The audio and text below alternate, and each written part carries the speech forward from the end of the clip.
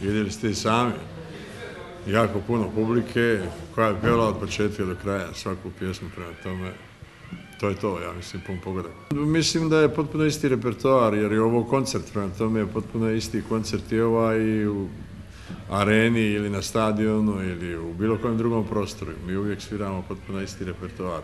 Ponekad, šta ja znam, neku novu pjesmu ubacimo ili nešto staro, ovisi od atmosferi.